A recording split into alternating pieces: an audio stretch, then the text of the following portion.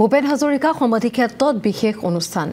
জালুকবাৰী নাগৰিক সমিতি ভূপেন হাজৰিকা সমন্বয় সত্ৰৰ উদ্যোগত। এই অনুষ্ঠান আৰু অনুষ্ঠানত সহযোগ বৃহত্তৰ গাড়ীগাঁও সাহিত্য সভাৰ। সমাধিক্ষেত্ৰ সৌন্দৰ্য বৰ্ধনৰ বাবে চৌহদত গছপুলি ৰোপণ। সমাধিক্ষেত্ৰ চাফ চিকুণ কৰাৰো কাৰ্যসূচী ৰূপায়ণ। এই বিশেষ দিনটোত স্মৰণ কৰে বিশ্ববৰেণ্য শিল্পীগৰাকীক।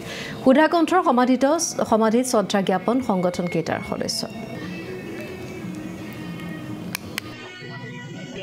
আমি প্ৰতি বছৰে বিশ্ব পৰিৱেশ দিৱস আমি জালুকবাৰী নাগৰিক কমিটি ডক্টৰ ভূপেন হাজৰিকা সমন্বয় সত্ৰ আৰু আমাৰ বৃহত্তৰ গাড়ীগাঁও সাহিত্য সভাৰ আমি যৌথ উদ্যোগত আমি প্ৰতি বছৰে কৰি আহিছোঁ।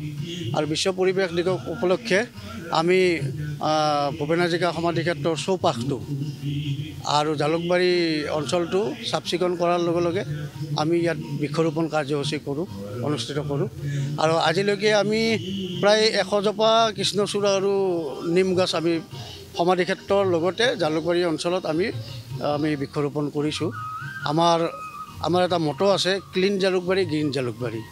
আৰু এই ক্লিন জালুকবাৰী গ্ৰীণ জালুকবাৰী কাৰ্যসূচীৰ অধীনত আমি আমাৰ এটা আমাৰ এটা লক্ষ্য আছে যে আমি এই জালুকবাৰী অঞ্চলত প্ৰায়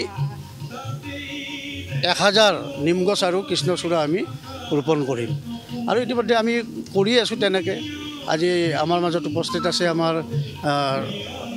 কি বুলি কয় ভূপেন হাজৰিকা সমন্বয় সত্ৰৰ সভাপতি শ্ৰী প্ৰভাস কুমাৰ শৰ্মা ডাঙৰীয়া আৰু কাৰ্যকৰী সভাপতি হৰেণ চন্দ্ৰ দাস ডাঙৰীয়া লগতে সাহিত্য সভাৰ বৃহত্তৰ গাড়ীগাঁও সাহিত্য সভাৰ সভাপতি লাইলা বেগম আৰু এই তিনিজনে আমাৰ আজি এই বৃক্ষৰোপণ কাৰ্যসূচী শুভাৰম্ভ কৰিছে।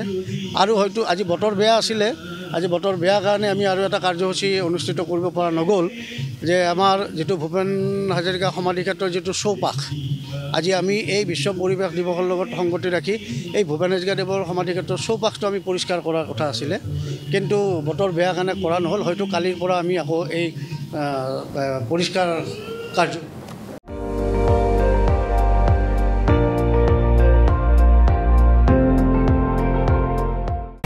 আপুনি চাই আছে এন ডি টুৱেণ্টি ফ'ৰ। সৰ্বশ্ৰেষ্ঠ নহয় সৰ্বোত্তমৰ দৌৰা